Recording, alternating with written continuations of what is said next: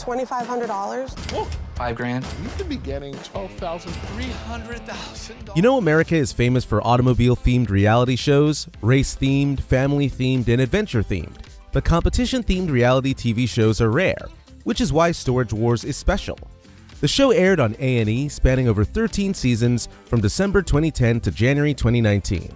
Storage Wars 13th and 14th seasons premiered around 2021, and it follows the lives of the cast members as they compete for the auction of storage lockers in California. It is a rule in California, United States, that when rent is not paid on a storage locker for more than three months, the content in such storage can be sold off by an auctioneer.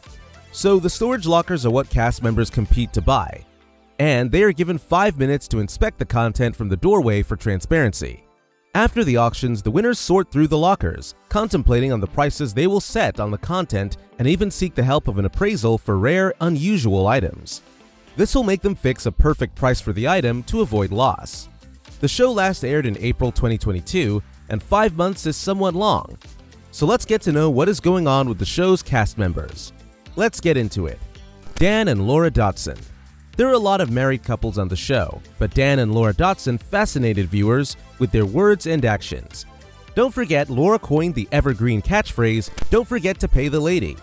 In 2019, when the last storage locker was auctioned in the previous episode, the Dotson family returned to their initial work. The couple work as full time employees in a non televised private auction circuit.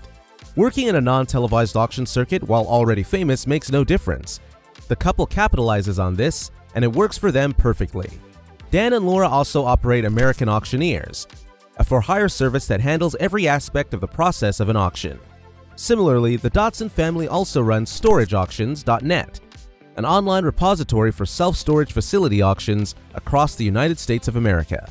When off camera, the couple have their hands tied, so they hardly have time for travel and all, even though they do, they do seldomly. The Dotson family also had a scary experience with their son, who was shot some years back in a drive-by shooting outside an Airbnb in Arizona. He survived the near-death experience, but had a tough recovery process. Dave Hester. You love villain-themed movies, right? Then get familiar with Dave Hester. He is the perfect description of who the audiences love to hate. Dave's villain acts do not in any way hurt his colleagues. He just deemed it fit to be a pain in the ass for every one of them on the show. With so much aggression and hostility, attempted to outfox his co-stars in their bids on storage units. The mogul also generated a catchphrase, Have you bought here before? which he would yell out during auctions and plastered on his vehicle and clothing. Dave is that guy you don't want to mess with on the show. Back in December 2012, Dave was fired from the show after just three seasons for unknown reasons, which made him sue A&E and the show producers for $750,000, citing wrongful termination. The case was later settled in 2014 after two years of dragging each other's necks. Dave isn't just a villain on the show. After all, he did show the show producers and A&E what it means to be a villain in real life. After the suit was settled, was Dave Hester accepted back to Storage Wars? You guessed right. Yep. He was reinstated. In June 2020, Dave was in the news again for another lawsuit. He sued Public Storage for making a bid for the storage locker that was still being for. Dave has already purchased the insides of the abandoned locker for $11,800, only for the company to realize it was a mistake on their part, and the rightful owner of the storage is still actively paying for the rent. This made Dave sue them after Public Storage voided the sale, eventually losing.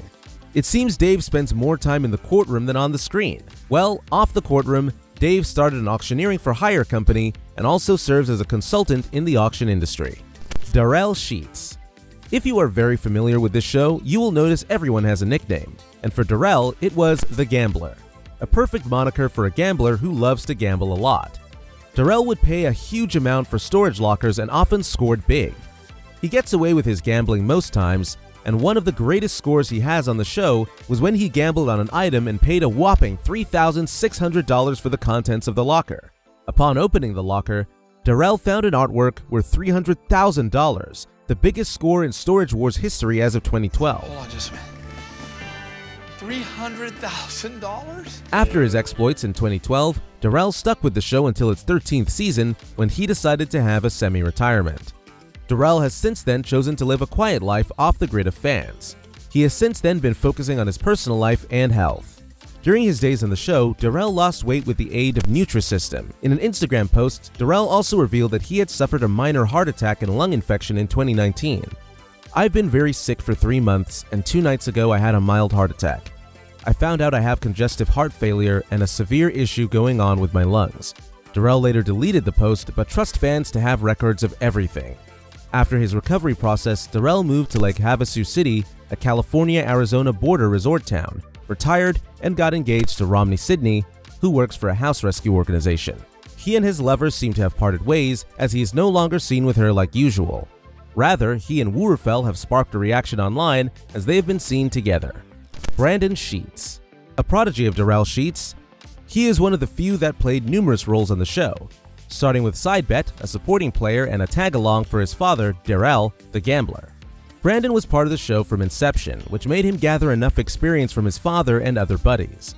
Brandon, now an independent player, bids on his own and finds himself in a bidding war with his own after Darrell retires from the show. However, Brandon, who started the show with the likes of his father and other top bidders, left the show before his father retired, not of his own volition, however. Brandon, who addressed his fans from his former Twitter account, said he was no longer affiliated with Storage Wars, explaining that while his father would remain on the series, his involvement had been terminated because of budgetary issues. Months later, he fired back at Storage Wars Network A&E for attempting to continue a professional relationship, tweeting, Funny how at A&E fired me for a lack of budget, but they still have their people follow me on social media and want me to do free stuff.